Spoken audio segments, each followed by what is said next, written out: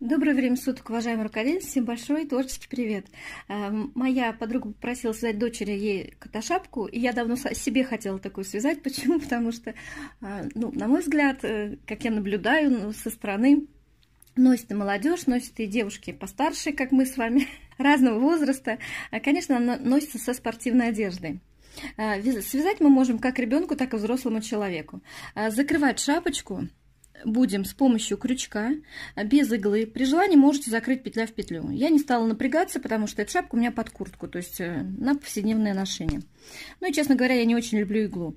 А, поэтому этот данный мастер-класс подойдет для начинающих. Значит, все нужные ссылочки, которые вам понадобятся, это фабричный набор, э, если вам захочется так же делать, или фиксированный отворот у шапки, который э, находится на том месте, на котором я ему задала. Два способа я оставлю внизу. И э, у пряжи, значит, пряжа у меня Alize Lana Gold 240 метров на 100 грамм, 49% шерсти и 51 акрил. Для вязания данной шапки я использовала спицы, самые обычные гаммовские китайские, номер 3,5 при вязании резинки. И тело самой шапочки я вязала спицами номер 4, также гаммовскими. И а, расход у меня ушел а, практически моток, вот остаток от моточка. А, то есть на взрослого человека хватает вполне одного мотка. Э, крючок номер 3,5 при выполнении закрытия. Итак, какие расчеты нам потребуются? Я вязала образец резинкой 1 на 1 в 10 сантиметрах 19 петель. 1 сантиметр, соответственно, 1,9 петли. На обхват головы свой 55 э, сантиметров. Умножая на свою плотность вязания, узнаю, сколько мне нужно петель набрать. 104 с половиной. 104 отнимаю 15%, если у меня шапка будет без отворота. Так как у меня с отворотом, значит, я отнимаю 10%. Получаю 94 петли там с копейками. Это с подгибом, с отворотиком. Потому что он занимает некое пространство, да, у нас. Э, получаю 94 петли, но делаю кратно 4, 96. У меня фабричный набор, все как я люблю. И фиксированный подгиб. Фабричный набор выполнила. Э, он у меня, значит, 7,5 сантиметров. Далее сделала фиксированный подгиб, я оставлю ссылочку, и провязала 6,5 сантиметров. На сантиметр меньше, да, чтобы у нас резинка не выскакивала оттуда. И дальше начала вязать лицевой гладью. Вот сколько нужно вязать до закрытия. У нас пол, полуобхват головы, то есть если мы замеряем поверх головы от уха до уха, от мочки уха до другой мочки уха. Получается в среднем у взрослого человека 38-40 сантиметров.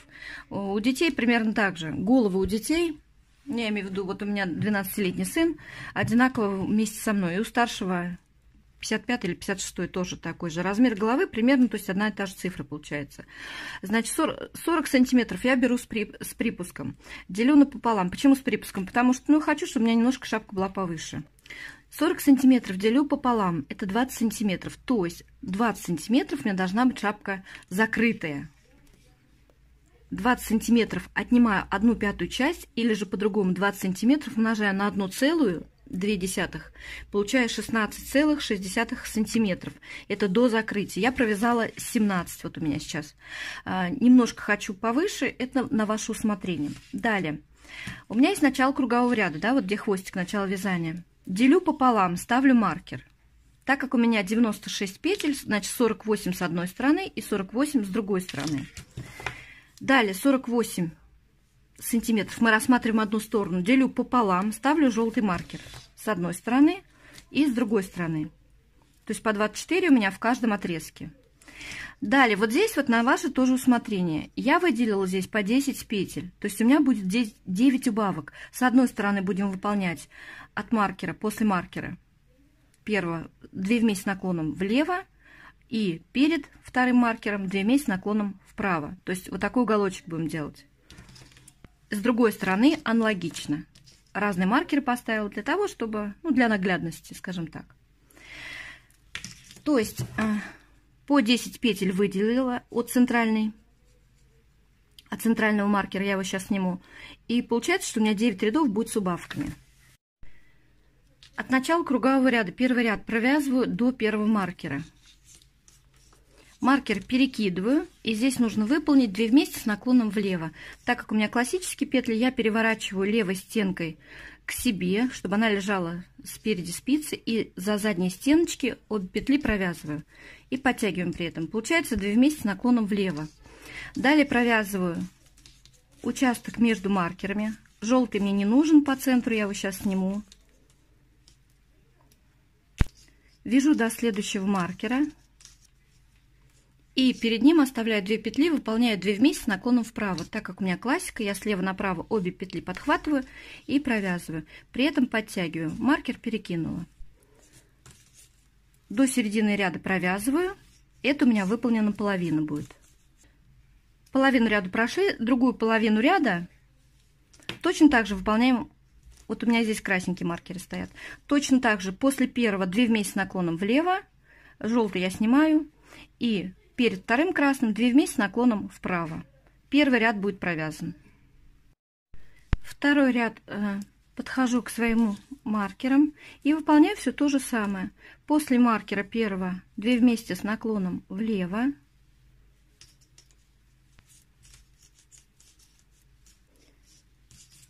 И перед вторым маркером 2 вместе с наклоном вправо.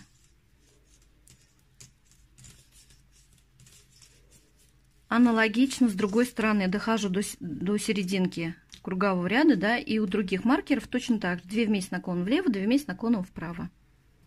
И так я буду поступать до девятого ряда. В каждом ряду буду делать убавки. В последнем девятом ряду у меня остается 4 петли между маркерами. Это моя последний, мой последний ряд и последние убавки. То есть у меня сейчас 2 вместе с наклоном влево после маркера – подтянули и 2 вместе тут же с наклоном вправо перед маркером. Получается по 2 вместе и они сомкнулись, да, то есть встретились. Все, можно маркеры снимать. Заканчиваем этот ряд. С другой стороны у двух маркеров точно так же выполняю. В последнем девятом ряду были последние убавки, и я разделила первую и последнюю петлю, где у нас стоял маркер начала кругового ряда, пополам. То есть количество петель равное получается. То есть там, где у нас стоял маркер середина, да, вот у меня вот такой вот стоял здесь маркер. И на разные спицы, на две спицы перенесла петли. Далее нам нужно выйти на изнаночную сторону, если мы будем сшивать крючком. Вывернула шапку на изнаночную сторону. Ниточка у меня вот передо мной. Для тех, кто не владеет иглой или не хочет сшивать, или нет под руками, да, или нет просто настроения, значит, можно закрыть крючочком. Тоже будет смотреться прилично. Для этого петлю, на которую уже от которой отходит у нас э, ниточка, мы ее одеваем на крючок, подхватываем вторую и протягиваем через вторую, снимаем со спицы и через ту, которая у нас есть на, уже на крючке.